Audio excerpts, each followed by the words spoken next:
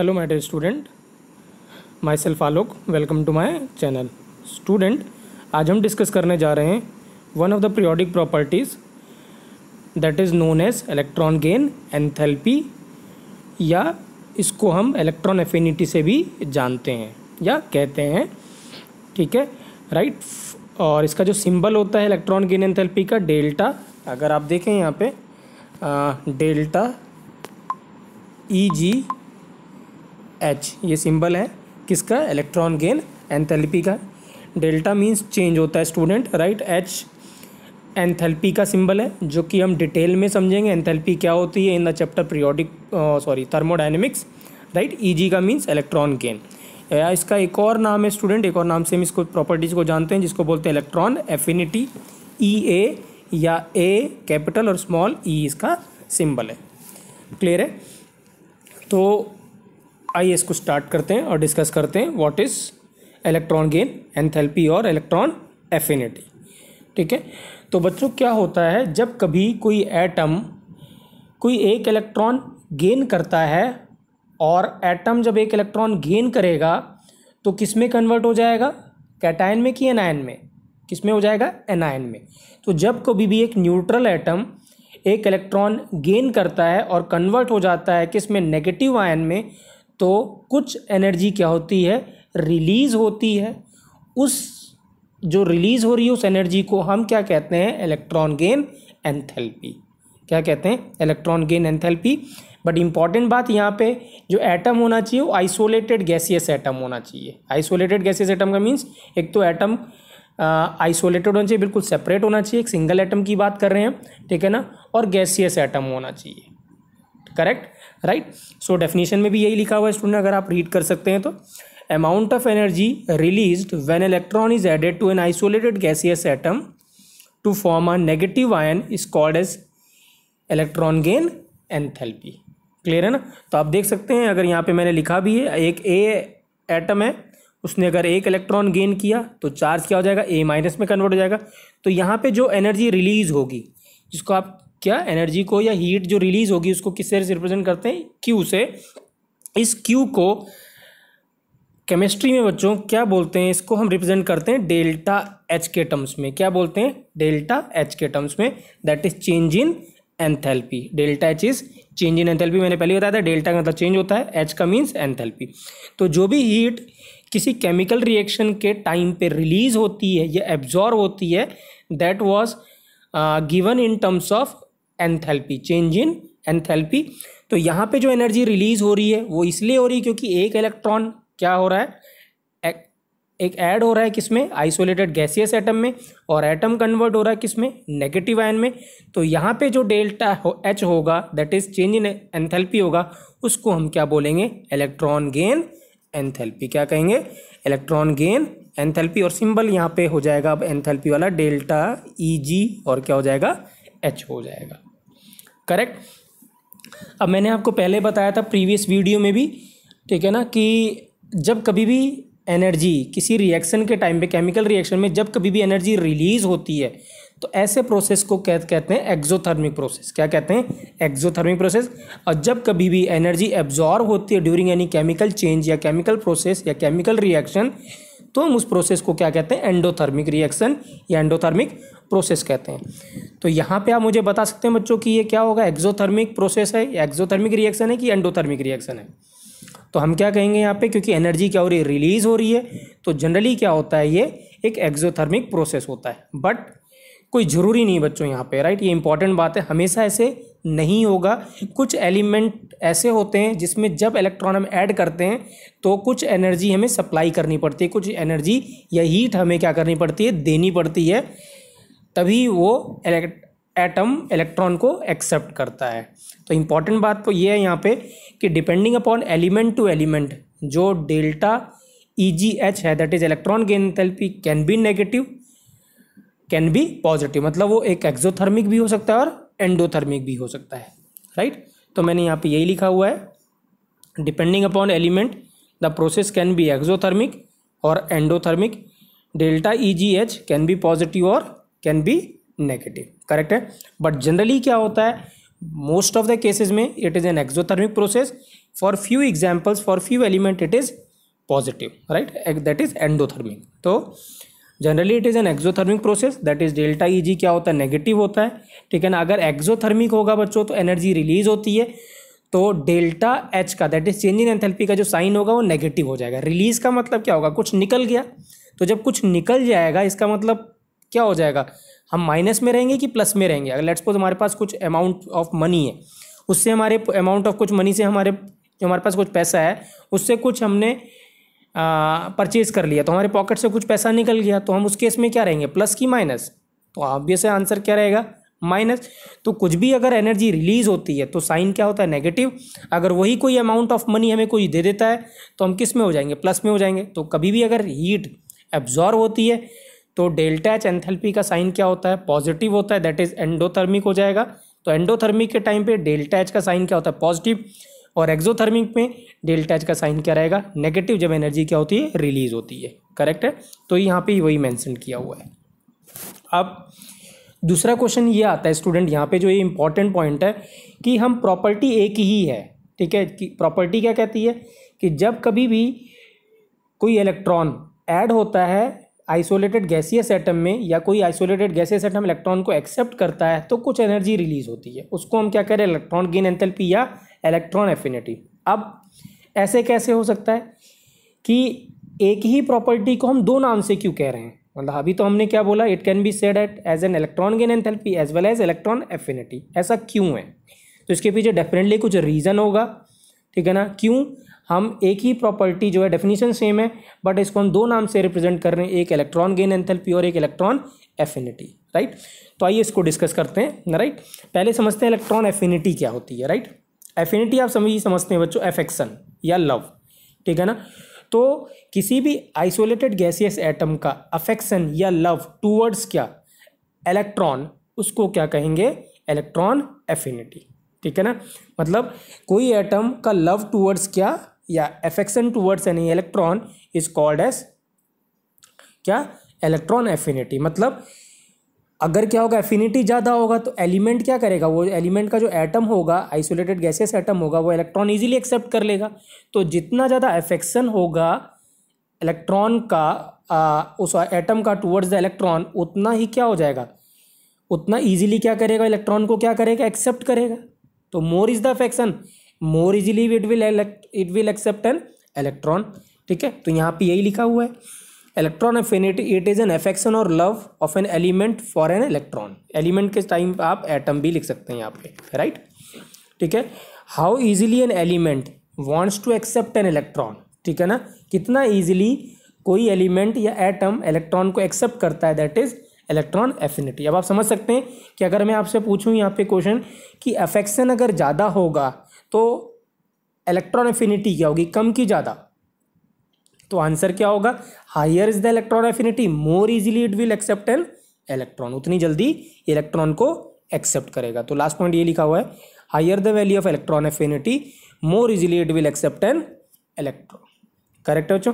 तो I hope अभी तक आपको समझ में आया होगा इलेक्ट्रॉन गेन एंथैल्पी क्या होता है? इलेक्ट्रॉन एफिनिटी क्या होता है? अब इसकी ज़रूरत क्यों पड़ी? अब जैसे जो मैंने क्वेश्चन पूछा था कि एक ही प्रॉपर्टी है बट हम इसको दो नाम से कह रहे हैं राइट ऐसा क्यों है? आइए इसको डिस्कस करते हैं।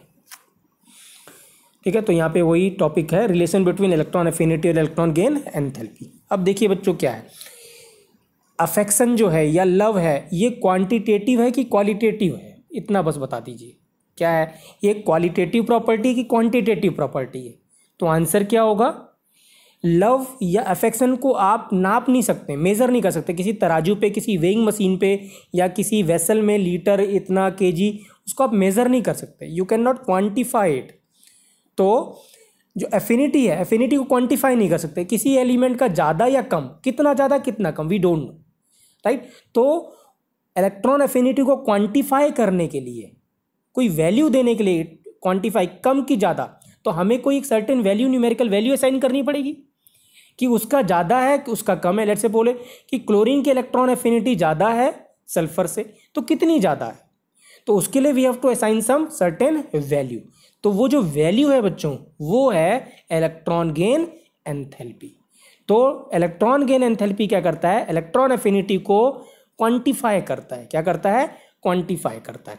तो quantification of electron affinity is done by electron gain enthalpy जब हम उसकी वैल्यू असाइन कुछ कर देते हैं, तब हम बता पाएँगे, ये इतना ज़्यादा है, इसका एफेक्शन इतना ज़्यादा, इतना कम है। लेट सपोज़ क्लोरीन का इलेक्ट्रॉन एफिनिटी या हमने वैल्यू दे दी कितनी ट्वेंटी और सल्फ़र की कितनी है टेन है। तो हम ऐसा कहेंगे कि जो क्लोरीन की एफिनिटी टुवर्ड्स द इलेक्ट्रॉन है, वो डबल है एज कंपेयर टू क्या? Sulphur so now we have quantified right? तो आई होप आपको समझ में आया होगा कि electron affinity electron gain enthalpy में क्या है? डिफरेंस क्या है या रिलेशन क्या है? तो यहाँ पे इंपॉर्टेंट बात यह है बच्चों, जो इलेक्ट्रॉन एफिनिटी है और जो इलेक्ट्रॉन गेन एंथैल्पी है, दोनों का जो मैग्नीट्यूड होगा, वो क्या होगा? सेम होता है। क्या होता है? सेम होता है। ठीक है ना? सिर्फ़ फ़र्क क्या होता है? उनके साइन में फ़र्क होता है। एफिनिटी मतलब क्या? पॉजिटिव है ना? हमारा नेगेटिव का मतलब क्या? हेट होता है। अफेक्शन या लव का मतलब पॉजिटिव राइट तो अगर इलेक्ट्रॉन गेन एंथैल्पी ठीक है ना नेगेटिव होगा तो इलेक्ट्रॉन एफिनिटी का जो साइन होगा वो क्या होगा? पॉजिटिव होगा क्योंकि वहाँ पे एनर्जी रिलीज़ हो रही है तो साइन क्या लगा रहे हैं हम? नेगेटिव बट अगर इज़ इलेक्ट्रॉन वो एक्सेप्ट कर रहा है ठीक है ना तो एफिनिटी टूवर्ड्स इलेक्ट्रॉन है उस एटम की तो इसका मतलब उसका साइन क्या हो जाएगा? पॉजिटिव हो जाएगा.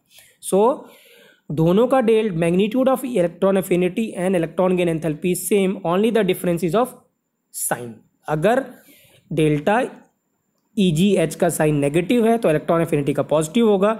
और अगर इलेक्ट्रॉन इलेक्ट्रॉन गेन एंथैल्पी का साइन क्या है, पॉजिटिव है तो इलेक्ट्रॉन एफिनिटी का साइन क्या होगा, नेगेटिव होगा, राइट? तो आई होप आपको बच्चों को आंसर मिला होगा आपको कि इलेक्ट्रॉन एफिनिटी और इलेक्ट्रॉन गेन एंथैल्पी में क्या रिलेशन होता है। मैं फिर से रिपीट कर रहा हूँ, अगर हमें क्वांटिफाई करना है इलेक्ट्रॉन एफिनिटी को, मेजर करना है, वैल्यू कुछ असाइन करनी है तो that value is assigned with help of electron gain enthalpy correct so यहाँ पे वही मैंशन है electron affinity of an element sorry affinity of an element to accept electron is decided by certain numerical value जो मैंने बताया था, वो numerical value क्या होती हैं? वो न्यूमेरिकल वैल्यू वही होती है जो एनर्जी रिलीज़ होती है किसके?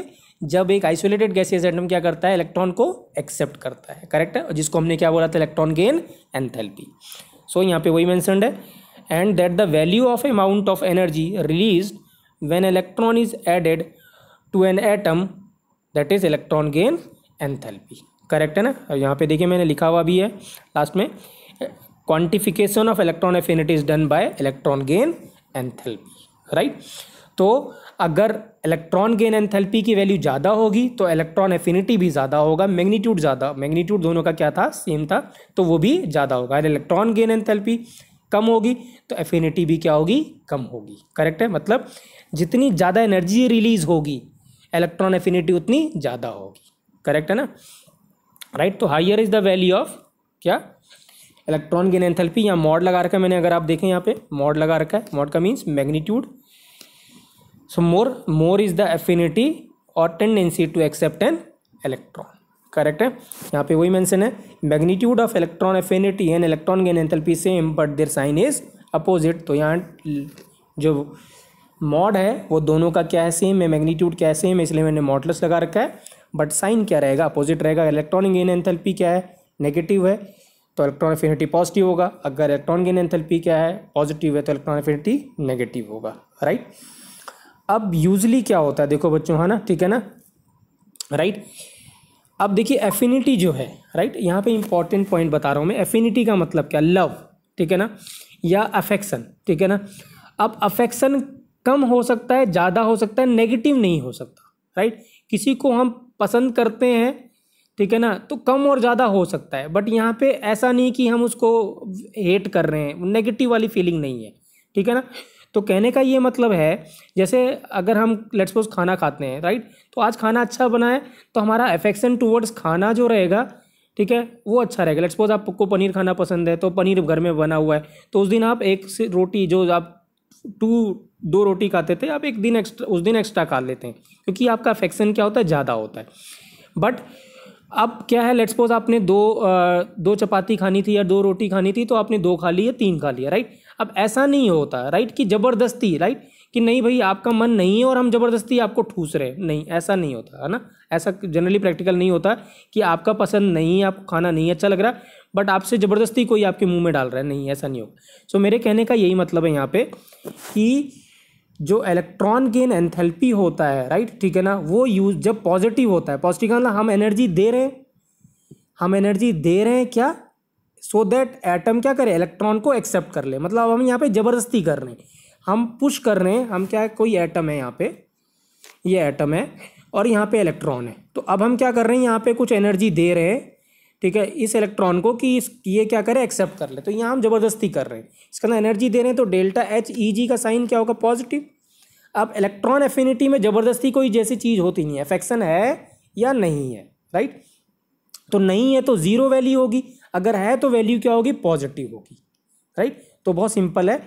अगर क्या है, वो एक्सेप्ट कर रहा है इलेक्ट्रॉन ईजिली अफेक्शन है तो पॉजिटिव अगर नहीं है तो वैल्यू क्या होगी? ज़ीरो बट जो इलेक्ट्रॉन गेन एंथैल्पी हो सकता है, वो ज़बरदस्ती भी सकता क्योंकि वहाँ पे हम क्या कह रहे हैं? एनर्जी दे रहे हैं। तो यहाँ पे कुछ सर्टेन वैल्यू आई होगी।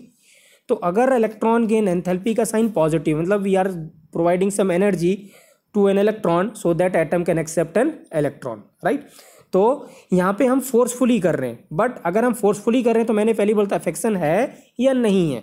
तो यहाँ पे अफेक्शन बिल्कुल नहीं है। तो इस केस में जो आप इलेक्ट्रॉन एफिनिटी की जो वैल्यू होगी, वो क्या कहेंगे आप? ज़ीरो असाइन करेंगे। क्या करेंगे? ज़ीरो या फिर बहुत किसी कभी कभार हम इसी वैल्यू को क्या होगा? अगर ये पॉजिटिव होगा तो इलेक्ट्रॉन एफिनिटी क्या हो जाएगा? नेगेटिव हो जाएगा। तो ऐसे बहुत सारे एटम हैं, जैसे नोबल गैसेज होगी, मैं अगर आपसे कहूँ तो नोबल गैसेज का स्टेबल कॉन्फिग्रेशन होता है हीलियम नियॉन तो वो इलेक्ट्रॉन एक्सेप्ट नहीं करेगा। उसकी एफिनिटी नहीं इलेक्ट्रॉन एक्सेप्ट करने की। ना, देखो आपने, कभी वो बॉन्डिंग पार्ट नहीं लेता। हीलियम या नियॉन वो बॉन्डिंग पार्ट नहीं लेते। उनके कंपाउंड नहीं होते। Because they have no tendency to accept an electron या देते भी नहीं है वो इलेक्ट्रॉन ठीक है? तो उनमें टेंडेंसी नहीं इलेक्ट्रॉन एक्सेप्ट करने की। तो अगर वहाँ पे हम कहेंगे तो वहाँ पे अगर मुझे इलेक्ट्रॉन जब देना है, ज़बरदस्ती करनी है तो मुझे कुछ एनर्जी सप्लाई करनी पड़ेगी। तो एनर्जी अगर हम सप्लाई करेंगे तो डेल्टा एच का साइन तो क्या हो जाएगा? पॉजिटिव बट हम इलेक्ट्रॉन एफिनिटी को वहाँ पे क्या कहेंगे कि हीलियम की कोई भी इलेक्ट्रॉन एफिनिटी नहीं थी इलेक्ट्रॉन एफिनिटी क्या था? ज़ीरो था राइट या ज़ीरो के जगह पे हम कभी कभार ऐसे भी कह सकते हैं क्योंकि वैल्यू क्या हो जाएगी? नेगेटिव हो जाएगी। बट इलेक्ट्रॉन एफिनिटी के नेगेटिव का मतलब यही है कि वो ईजिली इलेक्ट्रॉन या उसका अफेक्शन टुवर्ड्स इलेक्ट्रॉन नहीं है। मैं फिर से बोल रहा हूँ, अगर इलेक्ट्रॉन इलेक्ट्रॉन एफिनिटी कहीं नेगेटिव गिवन है तो उसका मतलब यही है कि it does not have any affection towards an electron that is why उसकी वैल्यू को हम इलेक्ट्रॉन एफिनिटी को ज़ीरो भी कह सकते हैं राइट तो यहाँ पे वही मैंशन है।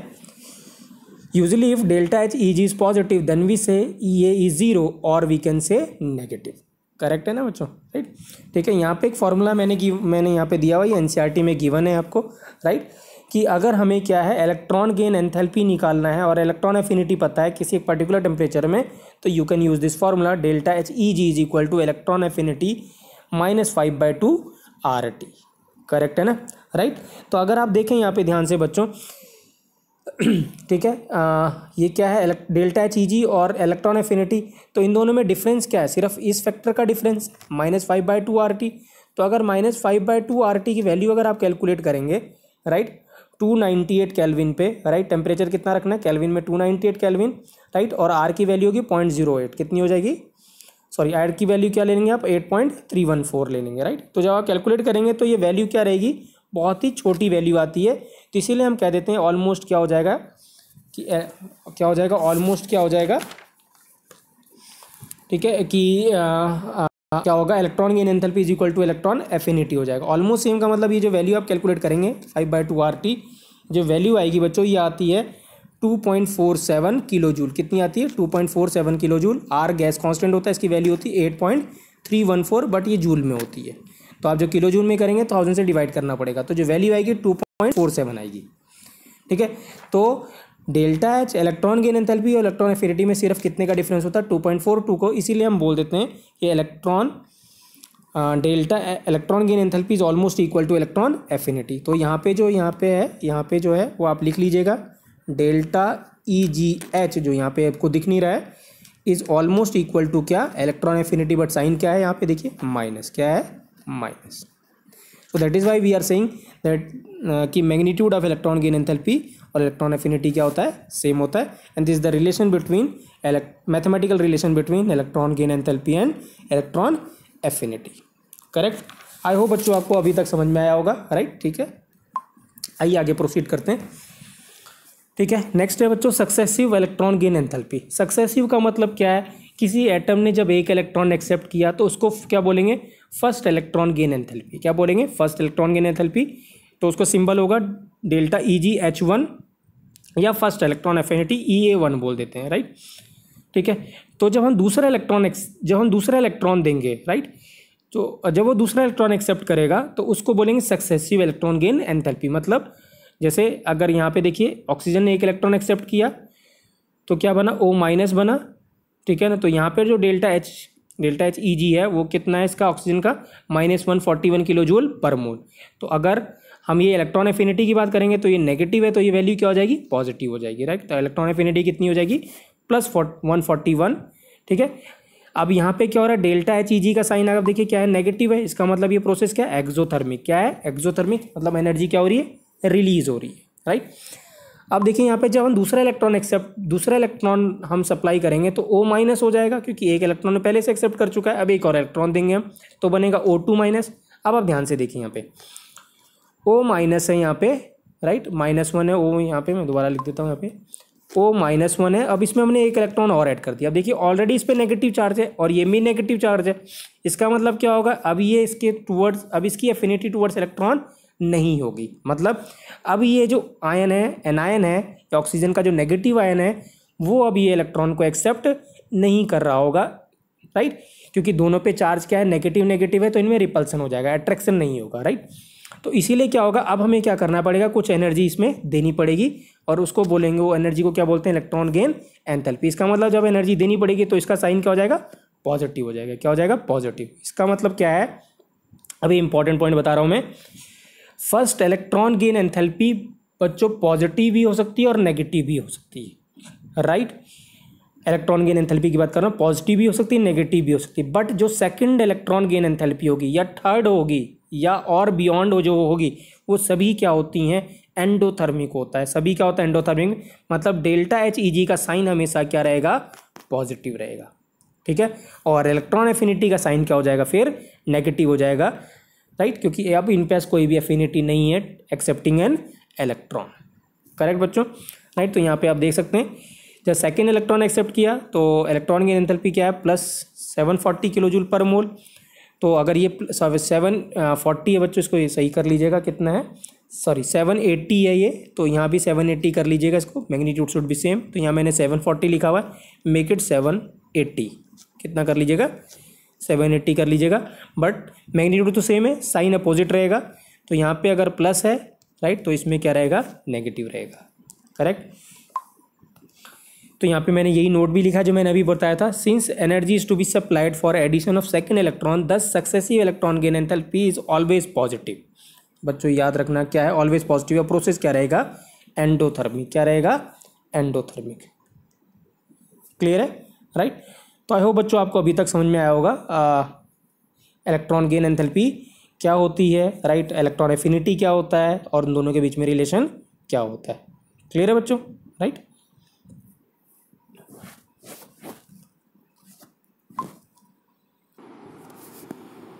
आइए स्टूडेंट कुछ प्रॉब्लम डिस्कस करते हैं राइट फ़र्स्ट प्रॉब्लम है A one and A two of sulphur is plus two hundred and minus five ninety kilo joule per mole लिख सकते हैं यहाँ पे kilo joule per mole right calculate electron gain enthalpy of S plus two electron gives S minus two clear है so student इसको कैसे करते हैं प्रॉब्लम को, ये मैं तरीका आपको बता रहा हूँ राइट बट ये कैसे आता है ठीक है, ये मेथड राइट ये हम डिटेल में डिस्कस करेंगे जब हम एक चैप्टर पर डिस्कस चैप्टर पढ़ेंगे इलेक्ट्रो सॉरी थर्मोकेमिस्ट्री क्या करेंगे? थर्मोकेमिस्ट्री में राइट कि एंथैल्पी से रिलेटेड प्रॉब्लम को कैसे अप्रोच करते हैं, कैसे सॉल्व करते हैं। बट बस अगर अभी तक ऐसा क्वेश्चन आ जाए in between before completing thermochemistry तो आपको कैसे अप्रोच करना है इस प्रॉब्लम को, इसको देखते हैं राइट तो क्या है, मैं आपको तरीका बता रहा हूँ, इसको कैसे सॉल्व करेंगे इस क्वेश्चन को। क्या है? एस प्लस टू इलेक्ट्रॉन है। तो हमें पता है ये एस प्लस टू इलेक्ट्रॉन तो हमें तब मिलेगा जब पहला एक इलेक्ट्रॉन ऐड होगा। तो ये क्या होगा? एस माइनस वन तो इसको हम फ़र्स्ट इलेक्ट्रॉन गेन एंथैल्पी बोल देते हैं। That is delta H E G या वन या सीधे डेल्टा एच वन बोल दे। फिर एक और इलेक्ट्रॉन जब एस माइनस वन एक और इलेक्ट्रॉन एक्सेप्ट करेगा तो इसको बोल दें जो एनर्जी रिलीज़ होगी या एब्जॉर्व होगी, उसको डेल्टा एच टू बोल देते that is electron gain enthalpy second अब इन दोनों रिएक्शन को अगर हम ऐड करते हैं तो जैसे मैथ्स में होता है बच्चों इक्वेशन इक्वल टू के राइट साइड और लेफ़्ट साइड उसको कैंसिल करते हैं, ऐसे यहाँ भी कैंसिल कर देंगे right S minus one S minus one को।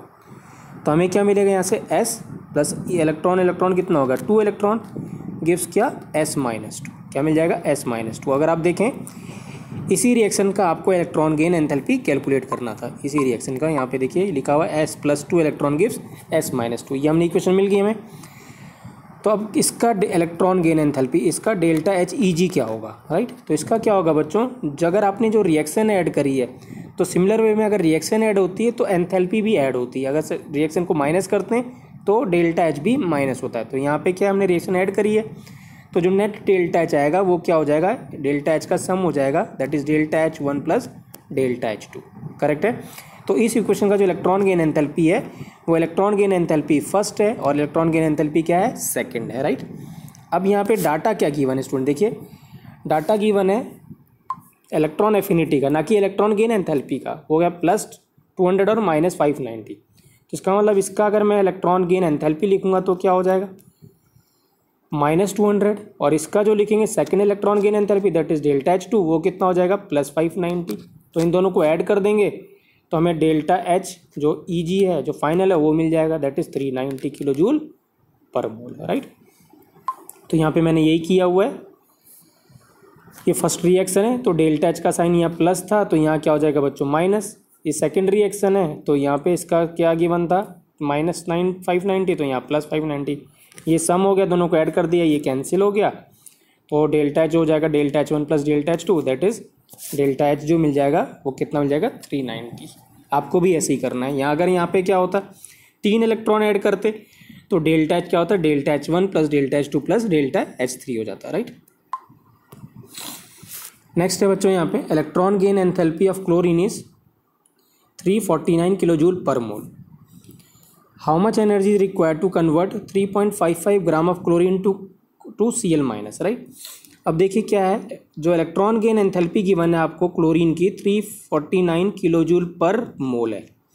मतलब एक मोल क्लोरीन को क्लोरीन आयन में कन्वर्ट करने के लिए एनर्जी कितनी रिलीज़ हो रही? माइनस थ्री फोर्टी नाइन और एक जो मोल होता है क्लोरीन उसमें वो कितना ग्राम होता है? Thirty five point five gram इसके अंदर thirty five five four five gram of chlorine को क्लोरीन आयन में कन्वर्ट करने के लिए इतनी एनर्जी रिलीज़ हो रही है। तो थ्री पॉइंट फाइव फाइव के लिए कितनी एनर्जी रिलीज़ होगी? That is very simple thirty four point nine kilo joule per mole ठीक है ना? So this the right answer बच्चों. तो यहाँ पे वही है थर्टी फाइव पॉइंट फाइव के लिए कितना चाहिए? थ्री फोर्टी नाइन तो थ्री पॉइंट फाइव फाइव के लिए कितना चाहिए होगा? Thirty four point nine kilo joule per mole right यहाँ पे दिख नहीं रहा है। पेज नंबर आ गया तो आप आंसर लिख लीजिएगा thirty four point five sorry thirty four point nine kilo joule per mole करें बच्चों राइट तो आई होप आपको दोनों क्वेश्चन क्लियर होंगे राइट आइए अब डिस्कस करते हैं स्टूडेंट क्या factor affecting electron gain enthalpy right electron gain enthalpy किस किस चीज़ों पर डिपेंड करेगी राइट तो सबसे पहले बच्चों क्या है साइज़ की बात करें अगर हम तो एक एटम अगर सपोज़ ऐसा है और एक एटम क्या है, कुछ ऐसा है और इलेक्ट्रॉन यहाँ पे है राइट तो आप मुझे बताइए किसके पास इलेक्ट्रॉन एक्सेप्ट करने की एफिनिटी ज़्यादा होगी? या इलेक्ट्रॉन की इलेक्ट्रॉन की एफिनिटी किसकी तरफ़ ज़्यादा होगी? एफेक्शन किसकी तरफ़ ज़्यादा होगा? जिसका साइज़ देखिए कौन जल्दी इलेक्ट्रॉन एक्सेप्ट करेगा? जिसका साइज़ छोटा होगा, क्योंकि उनके बीच का डिस्टेंस कम है तो डिस्टेंस कम है तो फोर्स ऑफ़ अट्रैक्शन क्या होगा ज़्यादा? हमने देखा था दो चार्ज के बीच का जो फोर्स ऑफ़ अट्रैक्शन होता है, वो Q one into Q two क्या होता है? आर स्क्वायर तो जितना आर कम होगा, उतना फोर्स ऑफ़ अट्रैक्शन ज़्यादा होगा। और फोर्स ऑफ़ अट्रैक्शन ज़्यादा का मतलब क्या होगा? उतनी ज़्यादा एनर्जी रिलीज़ होगी राइट या एफेक्शन टूवर्ड्स इलेक्ट्रॉन क्या होगा? ज़्यादा होगा। तो इलेक्ट्रॉन एफिनिटी या इलेक्ट्रॉन गेन एंथैल्पी क्या होगा? ज़्यादा होगा। अगर साइज़ क्या होगा? कम होगा एटम का राइट तो इनवर्स की प्रोपोर्शनल रिलेशन हो जाएगा। तो यहाँ पे वही है electron gain enthalpy electron affinity inverse की प्रोपोर्शनल टू क्या होता है? साइज़ होता है राइट पहली बार राइट ठीक है सेकंड है, क्या है? अब अगर एक एटम ऐसा है और एक एटम ऐसा है बच्चों राइट ठीक है? अगर हम यहाँ पे कहें कि इसमें इसका जेड वन है इफ़ेक्टिव न्यूक्लियर चार्ज इसका जेड टू है। अगर जेड वन क्या है? ज़्यादा है किससे? जेड टू से। अब इलेक्ट्रॉन एफिनिटी किसकी ज़्यादा होगी? कौन इलेक्ट्रॉन जल्दी एक्सेप्ट करेगा? वो क्या होगा? Z one greater than Z two है। मतलब न्यूक्लियर चार्ज किसका ज़्यादा है? फ़र्स्ट वाले का। Z one greater than Z two है। इसका मतलब उसमें नंबर ऑफ़ प्रोटॉन ज़्यादा है। तो यहाँ पे देख सकते हैं, मैंने भी बताया था फोर्स ऑफ़ अट्रैक्शन तो Q one into Q two तो क्या होगा? इसका ये क्यू वन है और ये क्या है? क्यू टू है। तो जिसमें जितने ज़्यादा नंबर ऑफ़ प्रोटॉन होंगे, या इफ़ेक्टिव न्यूक्लियर जितना ज़्यादा होगा, उसको इलेक्ट्रॉन एक्सेप्ट करने की क्या होगी? टेंडेंसी ज़्यादा होगी। तो higher will be the electron gain enthalpy या इलेक्ट्रॉन एफिनिटी राइट तो सेकंड है बच्चों क्या? Electron affinity electron gain enthalpy directly उसमें टू क्या होगा? इफ़ेक्टिव न्यूक्लियर चार्ज राइट अब थर्ड पॉइंट क्या है बच्चों? मैंने आपको बताया था हाफ़ फ़ील्ड कॉन्फिग्रेशन और फुली फ़ील्ड कॉन्फिग्रेशन क्या होता है? स्टेबल होता है। तो अगर कोई एटम ऑलरेडी स्टेबल है तो वो क्या करेगा? इलेक्ट्रॉन को एक्सेप्ट नहीं करेगा। ठीक है ना? क्योंकि ऑलरेडी उसका स्टेबल कॉन्फ़िगरेशन उसको इलेक्ट्रॉन एक्सेप्ट करने की ज़रूरत ही नहीं है। इसका मतलब क्या होगा वहाँ पे? उस केस में क्या होगा? देखिए लेट्स सपोज़ मैंने यहाँ पे क्या कर दिया? नियॉन ने लिख लिया राइट अब नियॉन होता है one s two two s two two p six right अब क्या होगा? ये इस पर कोई अफिनिटी नहीं इलेक्ट्रॉन एक्सेप्ट करने की इसका मतलब अगर हम नियॉन को इलेक्ट्रॉन देना भी चाहेंगे तो हमें ज़बरदस्ती इलेक्ट्रॉन देना पड़ेगा। मतलब हमें कुछ एनर्जी देनी पड़ेगी। तो अगर हम एनर्जी देंगे तो डेल्टा एच का साइन क्या हो जाएगा? पॉजिटिव हो जाएगा राइट तो इलेक्ट्रॉन गेन एंथैल्पी क्या होगा? पॉजिटिव होगा। अगर इलेक्ट्रॉन गेन एंथैल्पी पॉजिटिव होगा तो इलेक्ट्रॉन एफिनिटी क्या हो जाएगा बच्चों? या तो ज़ीरो बोलेंगे, या क्या बोलेंगे? नेगेटिव हो जाएगा राइट तो जिस भी एलिमेंट का स्टेबल कॉन्फिग्रेशन होगा दैट इज़ हाफ़ फ़ील्ड और कम्प्लीटली फ़ील्ड होगा उसका उस वो क्या करेगा? उस पर टेंडेंसी नहीं होगी इलेक्ट्रॉन को एक्सेप्ट करने की मीन्स हमें उसको इलेक्ट्रॉन को फोर्सफुली देना पड़ेगा। फोर्सफुली देने के लिए we have to supply some या add some energy into it तो डेल टैच का साइन क्या हो जाएगा? पॉजिटिव मतलब प्रोसेस क्या हो जाएगा? एंडोथर्मिक क्या हो जाएगा? एंडोथर्मिक और अगर डेल्टा एच पॉजिटिव हो गया तो डेफिनेटली इलेक्ट्रॉन एफिनिटी को या तुम ज़ीरो बोलते हैं या क्या बोलते हैं? नेगेटिव कहते हैं राइट तो यहाँ पे वही मैंसेंड है। Half filled and completely filled are stable configuration so they are elected to accept an electron so it's electron if electron is added to an element having half filled और completely filled we have we have to यहाँ पे आगे mention कर लेंगे we have to give some energy right हमें क्या करना पड़ेगा? गिव सम एनर्जी हमें कुछ एनर्जी गिव सम एनर्जी लिख लीजिएगा। एनर्जी देनी पड़ेगी हमें राइट? करेक्ट बच्चों? सो यहाँ पे लिख लेगा to so if an electron is added to an element having half filled और completely filled we we will have या वी विल हैव या we we have to provide या गिव सम एनर्जी अगर एनर्जी प्रोवाइड करेंगे तो this means क्या होगा? Delta H E जी का साइन पॉजिटिव होगा या इलेक्ट्रॉन गेन इलेक्ट्रॉन एफिनिटी का हो जाएगा, ज़ीरो या नेगेटिव हो जाएगा। Right right? या सीधे सेंटेंस ऐसे ही है so if an electron is added to an element having half filled completely filled we will have delta H E G positive हो जाएगा या डेल्टा इलेक्ट्रॉन एफिनिटी क्या हो जाएगा? ज़ीरो या नेगेटिव करेक्ट राइट तो आप देख सकते हैं यहाँ पे किस किस ग्रुप के एलिमेंट का कॉन्फ़िगरेशन स्टेबल होता है। राइट वो देख लेते हैं। तो ग्रुप टू जो होता है बच्चों, उसका कॉन्फ़िगरेशन क्या होता है? वन एस टू जैसे बेरिलियम हो गया मैग्नीशियम हो गया, उनका एन एस टू कॉन्फिग्रेशन होता है कम्प्लीटली फ़ील्ड है।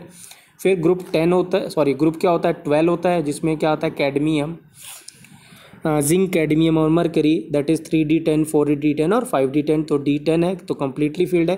फिर आता है group fifteen that is nitrogen family उसमें पी थ्री होता है हाफ़ फ़ील्ड कॉन्फ़िगरेशन है। फिर है group eighteen that is n p six वो कम्प्लीटली फ़ील्ड कॉन्फ़िगरेशन है। तो इन सब का जो डेल्टा एच ई जी होगा, वो क्या होगा? पॉजिटिव होगा। मतलब हमें अगर इलेक्ट्रॉन ऐड करना है नाइट्रोजन के अंदर बेरिलियम के बेरिलियम में, या या हम कहें नियॉन में, ठीक है? ठीक है तो हमें क्या करना पड़ेगा? एनर्जी सब देनी पड़ेगी। We have to add some energy into it that is why delta H G क्या होगा? पॉजिटिव होगा। और इलेक्ट्रॉन एफिनिटी का हो जाएगा? इधर ज़ीरो या क्या कहेंगे? नेगेटिव कहेंगे। करेक्ट राइट फोर्थ पॉइंट है बच्चों क्या? शील्डिंग इफ़ेक्ट या स्क्रीनिंग इफ़ेक्ट अब आप सोचिए कि अगर किसी एटम का स्क्रीनिंग इफ़ेक्ट पुअर है तो उस पर क्या होगा? उसका अफेक्शन टूवर्ड्स इलेक्ट्रॉन ज़्यादा होगा कि कम होगा? ऑब्वियस है ज़्यादा होगा क्योंकि स्क्रीनिंग पुअर है तो इलेक्ट्रॉन और और न्यूक्लियस के बीच में क्या होगा? फोर्स ऑफ़ अट्रैक्शन ज़्यादा होगा। तो फोर्स ऑफ़ अट्रैक्शन ज़्यादा होगा तो इलेक्ट्रॉन एफिनिटी या इलेक्ट्रॉन गेन एंथैल्पी भी ज़्यादा होगा राइट तो तो क्या होगा यहाँ पे? इलेक्ट्रॉन एफिनिटी इलेक्ट्रॉन गेन क्या है? Gain enthalpy increases when screening इस क्या होगा? पुअर होगा राइट और स्क्रीनिंग आप जानते हैं, क्या था? एस पी डी और एफ़ ई ऑर्डर था किसका? स्क्रीनिंग इफ़ेक्ट का। सबसे स्क्रीनिंग इफ़ेक्ट पुअर किसकी थी? एफ़ की, फिर डी की, फिर पी की और एस की। आइए अब डिस्कस करते हैं बच्चों ट्रेंड राइट या प्रियोडिसिटी तो प्रियोडिसिटी बच्चों क्या करना है हमें? लेफ़्ट टू राइट राइट तो लेफ़्ट टू राइट का मतलब क्या बच्चों? हमें क्या मूव करना है? लेफ़्ट टू राइट का मतलब अलॉन्ग द पीरियड या अक्रॉस पीरियोडिक टेबल जाना है। तो अक्रॉस पीरियोडिक टेबल जब जाते हैं तो जेड इफ़ेक्टिव क्या करता है? इंक्रीज करता है इफ़ेक्टिव न्यूक्लियर चार्ज तो अगर इफ़ेक्टिव न्यूक्लियर चार्ज इंक्रीज करेगा तो हमारा क्या होगा? Electron affinity electron gain gain enthalpy भी इंक्रीज करेगा राइट तो अलॉन्ग द पीरियड क्या करता है? इलेक्ट्रॉन गेन एंथैल्पी या इलेक्ट्रॉन एफिनिटी क्या करता है? इंक्रीज करता है, क्योंकि जेड इफ़ेक्टिव क्या करता है? इंक्रीज करता है। अब डाउन द ग्रुप या टॉप टू बॉटम की बात करें तो टॉप टू बॉटम साइज़ बढ़ता है तो साइज़ बढ़ेगा तो इलेक्ट्रॉन एफिनिटी या इलेक्ट्रॉन गेन एंथैल्पी क्या हो जाएगा? डिक्रीज करेगा। तो डाउन द ग्रुप क्या करता है? डिक्रीज करता है due to increase in size right यहाँ पे मैंने एक इंपॉर्टेंट पॉइंट लिखा बच्चों। ये जो मैं बोल रहा हूँ अलॉन्ग द पीरियड की बात कर रहा हूँ कि इंक्रीज करेगा electron gain enthalpy this is not applicable for d block element ठीक है, इसको याद रखना है। अब ऐसा बताइए, जैसे अगर हम क्या कह रहे हैं, अगर हम लेफ़्ट टू राइट मूव कर रहे हैं बच्चों राइट तो लेफ़्ट टू राइट मूव कर रहे हैं, इसका मतलब क्या होगा? अफेक्शन क्या होगा? टूवर्ड्स इलेक्ट्रॉन बढ़ रहा होगा। और अगर अफेक्शन टूवर्ड्स इलेक्ट्रॉन बढ़ रहा होगा, इसका मतलब क्या होगा? मोर एनर्जी रिलीज़ हो रही होगी, क्योंकि जितना इजीली इलेक्ट्रॉन एक्सेप्ट होगा, उतना ज़्यादा एनर्जी रिलीज़ होगी। इसका मतलब क्या होगा? जब तो आप लेफ़्ट टू राइट मूव करते हैं तो delta H E G electron gain enthalpy की मोर नेगेटिव वैल्यू मिलती जाएगी नेगेटिव वैल्यू बढ़ती चली जाएगी। जैसे minus twenty minus forty minus sixty and so on ठीक है ना? यही जब आप डाउन द ग्रुप मूव करेंगे तो टेंडेंसी इलेक्ट्रॉन एफिनिटी क्या होगा? टूवर्ड्स एफेक्शन टूवर्ड्स इलेक्ट्रॉन क्या हो जाएगा? कम हो जाएगा। इसका मतलब जो वैल्यू होगी, वो वो मोर नेगेटिव नहीं मिलेगी, वो लेस नेगेटिव मिलती चली जाएगी। जैसे पहली वैल्यू होगी माइनस हंड्रेड तो उसके जो नीचे वाला होगा, उसका माइनस सेवेंटी हो सकता है। और उसके नीचे वाले का माइनस फिफ्टी हो सकता है एंड सो ऑन ठीक है? तो यहाँ पे दोनों यही पॉइंट लिखा हुआ है। Electron gain enthalpy will will become more negative along the period right जब हम मूव करेंगे तो मोर नेगेटिव वैल्यू मिलेगी। और electron gain enthalpy become less more negative less negative when we move from move down the group that is top to bottom correct तो बच्चों, आपको ये दोनों पॉइंट क्लियर हुए होंगे राइट कि क्या क्या चीज़ें राइट ठीक है?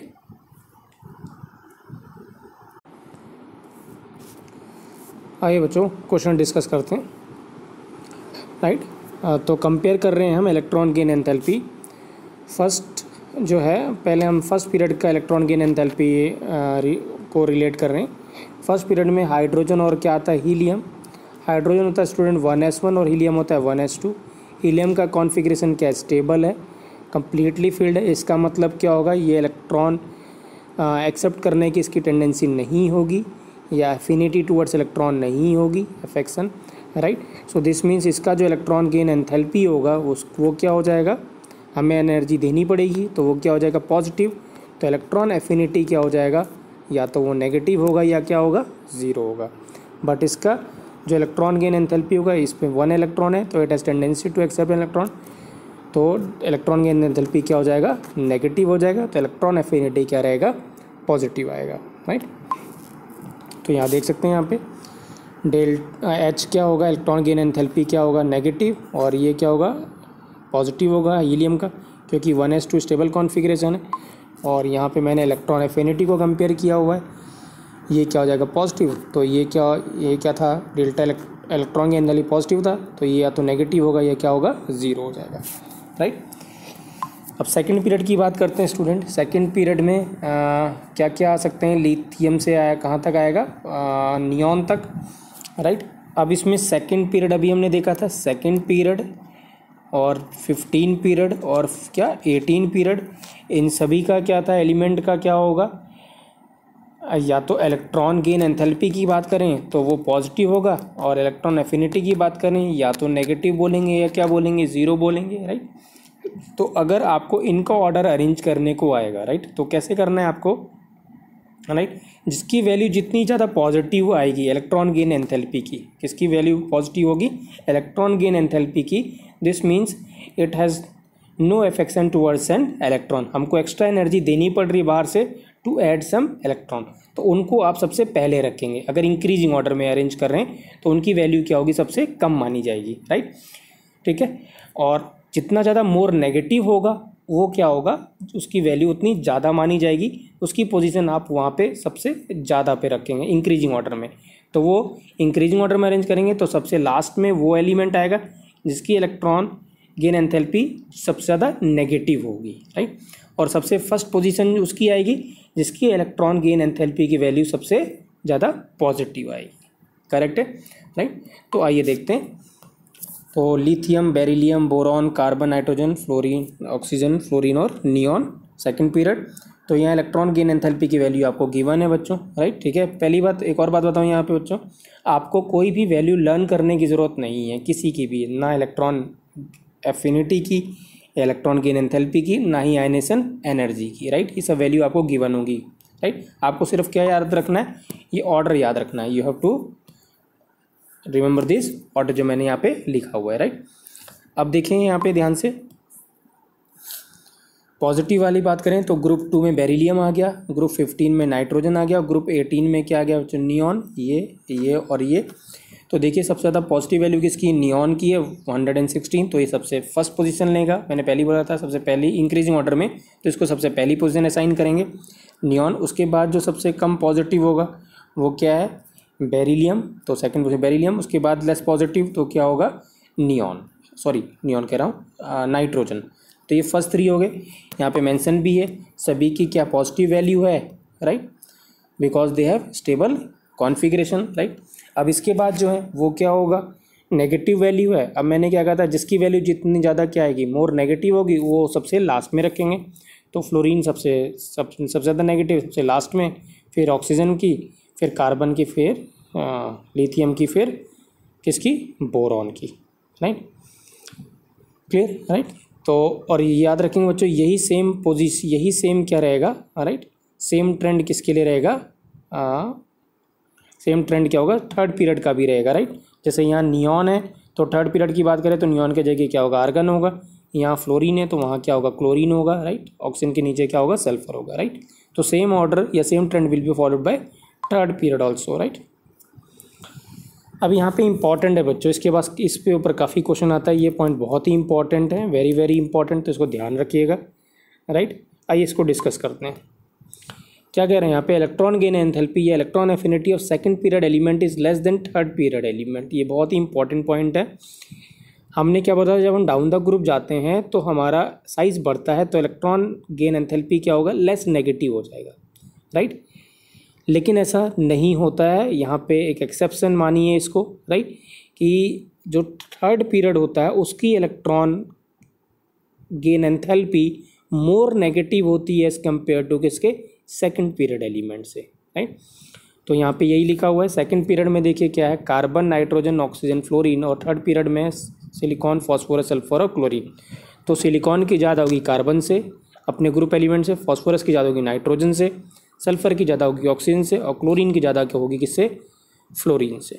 करेक्ट राइट अब ऐसा है क्यों तो इसको समझते हैं ना बच्चों लेट्स सपोज़ कार्बन की बात करें तो कार्बन का कॉन्फ़िगरेशन होता है। अगर हम लास्ट की बात करें तो यहाँ क्या होता है? टू पी टू राइट और अगर किसकी बात करें? नाइट्रोजन के नीचे क्या होता है? सिलिकॉन तो इसमें कितना होगा? थ्री पी टू होगा।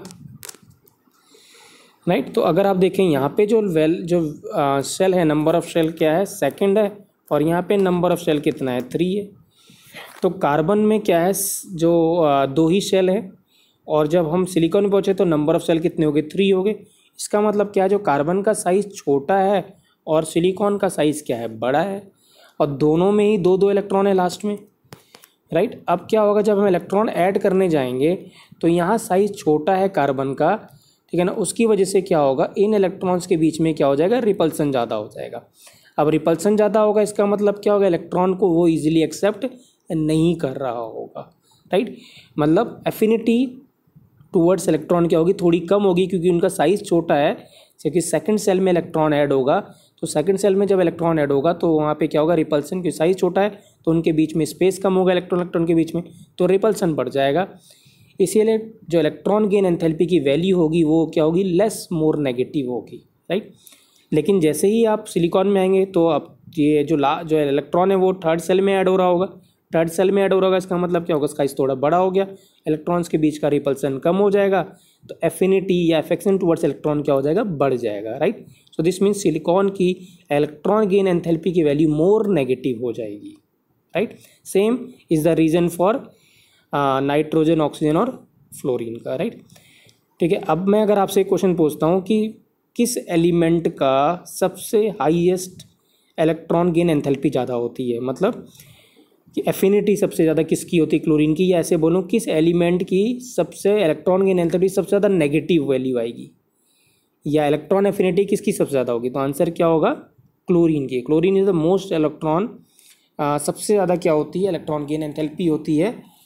मोर नेगेटिव के टर्म्स में बात कर रहा हूँ। या इलेक्ट्रॉन एफिनिटी सबसे ज़्यादा होती है क्लोरीन की, क्योंकि क्या होगा? हमने बोला था अलॉन्ग द पीरियड क्या करता है? बढ़ता है। अलॉन्ग द पीरियड क्या करेगा? इंक्रीज़ करेगा। और डाउन द ग्रुप क्या करेगा? डिक्रीज़ करेगा। तो जो ग्रुप एटीन है, उसकी तो है ही नहीं, उसकी तो एफिनिटी नहीं है, ना ज़ीरो के बराबर है। तो बचा क्या है? इसके बाद सेवनटीन ग्रुप तो सेवनटीन ग्रुप की मैक्सिमम होनी चाहिए। अब सेवनटीन ग्रुप में क्या था? क्लोरीन फ्लोरीन ब्रोमीन आयोडीन ठीक है? अब इसमें भी क्या होगा? डाउन द ग्रुप क्या होना? हमने बोला था कि डिक्रीज़ करता है बट अभी हमने यहाँ पे देखा कि कि थर्ड पीरियड एलिमेंट की ज़्यादा होती है किससे? सेकेंड पीरियड एलिमेंट से। इसलिए क्लोरीन की मैक्सिमम इलेक्ट्रॉन गेन एंथैल्पी होती है in periodic table right right तो मतलब अगर क्लोरीन में एक इलेक्ट्रॉन ऐड हो रहा होता है तो इसमें मैक्सिमम अमाउंट ऑफ़ एनर्जी क्या होती है? रिलीज़ होती है। तो यहाँ पे बच्चों यही रीज़न दे रखा है, अगर आप देखें। Electron gain enthalpy of P two is less less less negative than P three because added electron goes to smaller N is equal to two shell energy level and suffer a significant repulsion from other electron present in the level but for the p3 electron the electron is added in goes to the n is equal to 3 energy level so the added electron occupies larger regional space region of space and less electron electron repulsion and the electron electron repulsion is much lesser होगा right right? इसीलिए क्या होता है electron कि एनथैल्पी जो होता है, वो क्लोरीन का ज़्यादा होता है, किससे? फ्लोरीन से राइट ठीक है? तो यहाँ पे लिखा भी है chlorine has maximum electron electron gain enthalpy in periodic table most negative लिखा भी है राइट तो क्या होगा? क्लोरीन की ज़्यादा फ्लोरीन की, फिर ब्रोमीन की, फिर आयोडीन की, ऐसी सल्फ़र की ज़्यादा किससे? ठीक है, याद रखेंगे बच्चों, ये ग्रुप जो सिक्सटीन है, ये बहुत इंपॉर्टेंट है राइट यहाँ पे आपको दिख नहीं रहा है बट ग्रुप सिक्सटीन का आप लिख लीजिएगा, मैं ऑर्डर बता रहा हूँ। सल्फ़र, फिर सेलूरियम, फिर टेलूरियम और फिर ऑक्सीजन। ऑक्सीजन सबसे लास्ट में आता है बच्चों। ये ध्यान रखिएगा, बहुत इंपॉर्टेंट है। ऑक्सीजन की ड्यू टू इट्स साइज़ उसकी इलेक्ट्रॉन गेन एंथैल्पी इतनी ज़्यादा लेस नेगेटिव वैल्यू आती है कि वो सबसे नीचे ट्रेंड नीचे चला जाता है, सबसे बॉटम में चला जाता है राइट तो ये वैल्यू आपको याद रखनी है। ये ट्रेंड बहुत इंपॉर्टेंट है, जो मैंने अभी बताया आपको, किसका? ग्रुप सिक्सटीन का राइट अब ग्रुप सिक्सटीन में तो सबसे कम किसका होगा ग्रुप सिक्सटीन में? ऑक्सीजन का, फिर, और सबसे ज़्यादा किसका होगा? सल्फ़र का right oxygen as a lowest ये इंपॉर्टेंट है। अब ऐसा पूछ सकता है कि बताइए, जैसे यहाँ पे ग्रुप सिक्सटीन और ग्रुप सेवनटीन को कंपेयर कर ले। और पूछे, इन दोनों में बताइए कौन सबसे ज़्यादा, कौन सबसे कम राइट तो याद रखें ग्रुप सिक्स सेवनटीन का जो लास्ट एलिमेंट है दैट इज़ आयोडीन उसका भी इलेक्ट्रॉन गेन एंथैल्पी ज़्यादा होता है किससे? ग्रुप सिक्सटीन एलिमेंट के टॉपर से मतलब आयोडीन का ज़्यादा हो किससे सल्फ़र से भी ज़्यादा होगा। तो सल्फ़र से ज़्यादा हुआ तो इसका मतलब क्या होगा? इन सबसे भी वो ज़्यादा ही होगा राइट तो यहाँ पे यही मेंशन है electron gain and electron affinity of group seventeen is greater than group sixteen element तो अगर क्वेश्चन आता है arrange the following in increasing order of electron affinity that is phosphorus sulphur chlorine और फ्लोरीन तो अब देखें group fifteen sorry group हो गया हमारे पास। फिफ्टीन भी है और सिक्सटीन भी है और सेवनटीन भी है राइट अब सेवनटीन में क्या है? फ्लोरीन और क्लोरीन है। तो क्लोरीन की ज़्यादा सबसे ज़्यादा तो क्लोरीन सबसे पहले आ गया। अब क्या आ गया? फ्लोरीन बाकी सब क्या एक ही पीरियड के? अब देखिए यहाँ पे। तो कभी मैंने बोला था ग्रुप्स सेवनटीन की ज़्यादा होती ग्रुप सिक्सटीन से ग्रुप सिक्सटीन ज़्यादा होगी तो डेफिनेटली ग्रुप फिफ्टीन से भी ज़्यादा होगी। तो सबसे ज़्यादा किसकी होगी? क्लोरीन की। फिर किसकी? फ्लोरीन की। अब बचा क्या बच्चों? फॉस्फोरस और सल्फ़र। फॉस्फोरस ग्रुप फिफ्टीन में आता है और ये ग्रुप सिक्सटीन में आता है राइट तो ग्रुप फिफ्टीन के क्या होता है? कम हाफ़ फ़ील्ड होता है स्टेबल कॉन्फिग्रेशन होता है। इसका मतलब इनकी क्या होती है? इलेक्ट्रॉनिक गेन एंथैल्पी बहुत ही कम होती है, या पॉजिटिव वैल्यू आएगी। तो फॉस्फोरस सबसे कम वैल्यू होगी, तब क्या होगा? सल्फ़र का then fluorine then chlorine right so this the right answer right next question है। Which is the more stable right L I minus या बी ई माइनस ये जेई में जेई का क्वेश्चन है। एल आई माइनस और B E minus तो configuration लिख लीजिए। एल आई माइनस क्या होगा? One S two two S two हो जाएगा, एक इलेक्ट्रॉन ऐड हो जाएगा, क्योंकि जो एल आई होता है वो one S two two S one होता है बट एक इलेक्ट्रॉन जब एक्सेप्ट करेगा तो one S two two S two हो जाएगा। अब बेरिलियम तो पहले ही one S two two S two था स्टेबल कॉन्फिग्रेशन था। अब इसने एक इलेक्ट्रॉन ऐड कर लिया, अब स्टेबल क्या हो गया? ये वन स्टेबल हो गया। क्योंकि तो पहले इसका कॉन्फिग्रेशन क्या था? ज़्यादा स्टेबल था one S two two S two. Right तो बी माइनस क्या होगा? लेस स्टेबल हो जाएगा। क्या हो जाएगा? लेस स्टेबल हो जाएगा। राइट नेक्स्ट है which has the least stable right तो L I minus B B minus B minus और सी माइनस राइट तो आप देखिए यहाँ पे एल आई माइनस क्या होता है एल आई माइनस तो स्टेबल हो गया one S two two S two B minus पहले से ही बी पोरॉन क्या था? वन एस टू पाँच थे one S two two S two two P कितना वन था? एक इलेक्ट्रॉन ऐड हो गया तो टू पी टू हो गया, ज़्यादा कुछ फ़र्क नहीं पड़ा। कार्बन की बात करें तो कार्बन क्या था? पहले था one S two two S two और टू पी टू तो एक इलेक्ट्रॉन ऐड हो गया तो कितना हो गया? टू पी थ्री हो गया। बेरिलियम की बात करें तो बेरिलियम पहले स्टेबल था वन एस टू कितना था? टू एस टू तो स्टेबल कॉन्फ़िगरेशन था। बट एक इलेक्ट्रॉन जैसे ही ऐड हुआ तो ये क्या हो गया? टू पी वन में चला गया। और ये क्या हो गया? अनस्टेबल हो गया। क्या हो गया? अनस्टेबल तो सबसे लीस्ट अनस्टेबल क्या है? बी ई माइनस वन ठीक है? क्या होगा? B E minus one next question है। First ionisation energy of N A is five point one electron volt what is the electron gain enthalpy right अब देखिए क्या है। एन ए की इलेक्ट्रो आइनेसन एनर्जी दे रखी है। इसका मतलब क्या होगा? एन ए से जब एक इलेक्ट्रॉन ऐड हटाएँगे रिमूव करेंगे तो आपको एनर्जी कितनी देनी पड़ रही? Five point one electron volt right तो जब सोडियम एटम से हमने एक इलेक्ट्रॉन निकाला तो हमें एनर्जी सप्लाई करनी पड़ेगी plus five point one electron volt क्योंकि से एनर्जी एक क्या होता है? एंडोथर्मिक प्रोसेस होता है।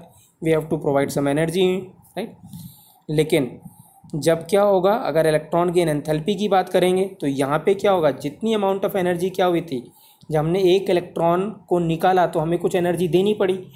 वही सेम अमाउंट ऑफ़ एनर्जी क्या होगा, जब हम इलेक्ट्रॉन ऐड करेंगे तो उतनी सेम ऑफ़ एनर्जी क्या होती है रिलीज़ होगी। क्या होगी?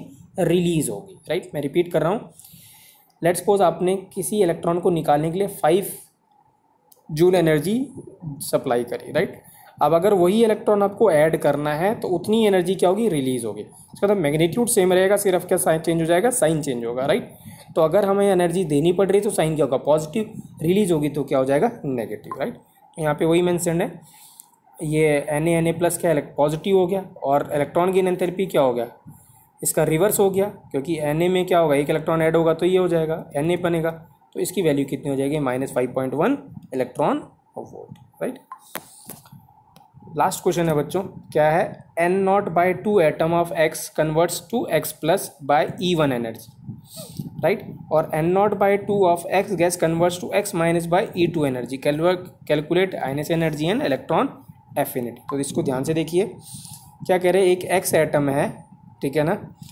उसको एक्स प्लस पर कन्वर्ट करने में तो एक्स प्लस का मतलब एक एक इलेक्ट्रॉन निकालना पड़ेगा। तो एक इलेक्ट्रॉन निकाल दिया। तो यहाँ पे जो एनर्जी होगी, वो क्या होगी? आइनस एनर्जी कहलाई जाएगी। राइट? और अगर हम क्या कर रहे हैं एक्स माइनस बना रहे हैं तो इसका मतलब एक इलेक्ट्रॉन ऐड कर रहे हैं तो एक्स माइनस बनेगा तो यहाँ पे क्या कहलाएगा? इलेक्ट्रॉन गेन एंथैल्पी कहलाया जाएगा एनर्जी राइट अब देखिए क्या है, तब जब हम एक यहाँ पे राइट एक एटम को जब हम, एक एक्स एटम को एक्स प्लस में कन्वर्ट करते हैं, ठीक है तो ई वन एनर्जी रिलीज़ हो रही है। कितनी एनर्जी रिलीज़ हो रही है? ई वन क्योंकि ये पर एटम की वन होगा, या पर एटम की वन हो गया पर मोल की वन होता है right and energy electron gain enthalpy हमेशा पर एटम या पर मोल की वन होता है। तो यहाँ पे इन्होंने क्या बोला है कि N naught by two atom of X is converted to X plus by E one energy right ठीक है? तो इसका मतलब क्या है कि हम इस क्वेश्चन में क्या गिवन है कि आपने एन नॉट बाय टू क्या है एक्स एटम लिए हुए हैं और एक्स प्लस में कन्वर्ट कर दिया तो एनर्जी कितनी हुई? ई वन तो एन नॉट बाय टू के लिए कितना हुआ एनर्जी हुआ? ई वन और अभी मैंने बोला था ionisation energy electron energy per atom define करेंगे। तो अगर N naught by two atom के लिए ई वन एनर्जी हो रहा है तो एक एटम के लिए कितना होगा? ई नॉट इंटू कितना? टू अपॉन कितना? एन नॉट तो ये क्या हो जाएगा? ये आइनस एनर्जी हो जाएगी एक एटम के लिए। मतलब N naught by two atom की एन एनर्जी गिवन है, आपको एक एटम की निकालनी है तो क्या हो जाएगा? E naught into two by N naught same आपके पास क्या हो जाएगा? Electron gain enthalpy electron gain enthalpy आपको N naught by two atom की कितनी गिवन है? एक्स माइन ई टू तो एक एटम की कितनी हो जाएगी? एक एटम की कितनी हो जाएगी? ई टू यहाँ पे ये क्या था? ई नॉट कह रहा हूँ। ई वन था। तो अब इलेक्ट्रॉन गेन एंथैल्पी की बात करें तो N naught by two atom को एक्स से एक्स माइनस कन्वर्ट करने के लिए कितनी एनर्जी गिवन है? ई टू तो एक एटम के लिए कितनी होगी? Two E naught two E two by कितना हो जाएगा? एन नॉट तो ये आंसर हो जाएगा। तो आप देख सकते हैं ये क्या है? N naught by two atom के लिए ईवन एनर्जी तो एक एटम के लिए कितना? Two E one by N naught और यहाँ N naught by two atom के लिए ई टू एनर्जी तो एक एटम के लिए कितना? Two E two by N naught energy right तो आए वो बच्चों, आपको क्लियर हुआ होगा कि what is electron affinity what is electron gain enthalpy clear है? क्या होता है? Right right? दोनों में बेसिक क्या डिफरेंस था?